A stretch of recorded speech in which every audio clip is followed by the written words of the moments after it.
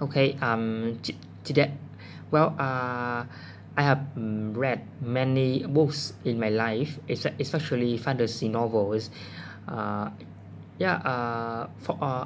Until now, I have I have read uh, about uh, over ten and series of novels of uh, you know uh, many uh, famous uh, writers in the world yeah like a token or D.G. Tolkien however I I'm more interested in The Hobbit by uh, D.G. Tolkien the the most writer of all time well uh, the uh, the story in The Hobbit uh, set in Middle Earth, a, a fiction continent, and uh, uh, it was uh, about events happening before the Lord of the Rings.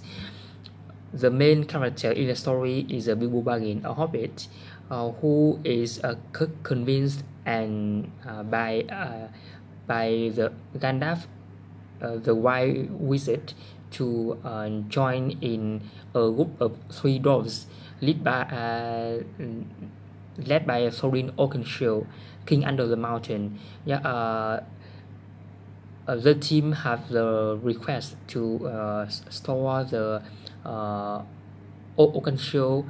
Yeah, a very noble store uh, with dwarf.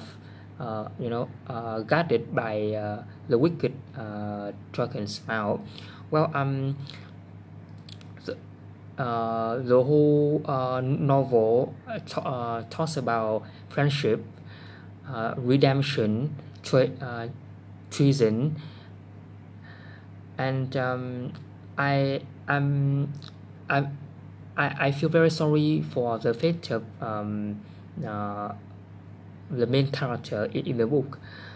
Uh, when I read uh, the final page I I didn't really want to finish it